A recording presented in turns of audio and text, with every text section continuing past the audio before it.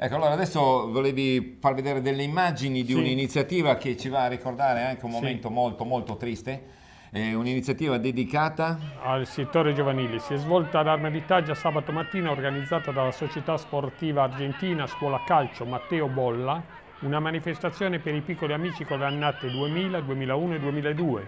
Alla manifestazione hanno partecipato un centinaio di bambini appartenenti alle squadre della Sanremese, Ospedaletti, Golfo Scogliera, Riva Ligure, Don Bosco Valle Crosi, Attaggia e Ventimiglia. I bambini divisi per anno si sono prodigati in partite e giochi sia sul campo in erba sia sul campo sintetico. Sì, diciamo un'iniziativa triste perché ci ricorda Matteo la tragica Bolla. scomparsa di Matteo Bolla.